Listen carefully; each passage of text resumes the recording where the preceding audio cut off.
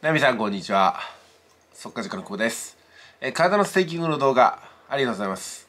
えーそしてですね前回、えー対談の方もお付き合いいただきまして本当にお疲れ様でございました。ありがとうございます。お問い合わせもあったみたいで、えこれからもですね、え時に触れてああいう風な機会を設けていければなと思っております。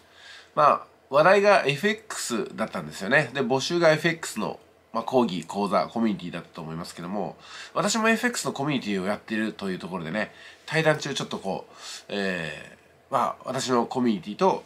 ナミさんのコミュニティの差が、もうちょっとは、はっきりと打ち出せたらよかったかなと私なりに反省しております。えー、またね、一緒にできる機会を設けさせていただければ幸いでございます。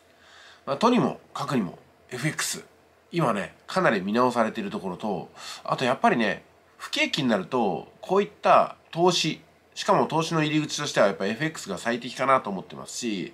通常ですね投資に関心がなかった方が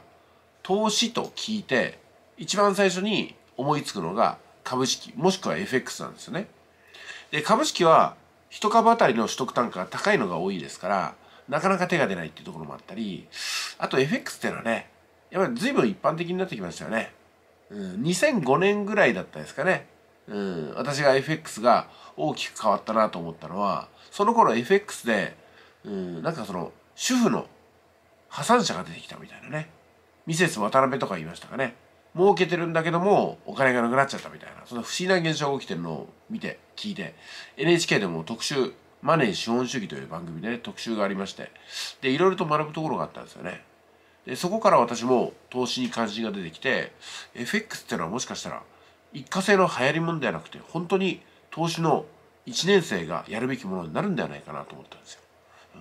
で今私 FX もう今はね自分なりにマスターしてですねあこういうふうな世界が見るんだと思いましてかなり自信を持ってるところなんですよね。はい、これからも FX についてナミさんといろいろと意見交換したりまああの動画のやり取りなんてね FX に対してできたらとってもいいなと思ってるんでまた一緒にいろいろ考えていきましょう。ではありがとうございました。これからも FX のいろんなねお話が一緒にできることも楽しみの一つです。では失礼します。お疲れ様です。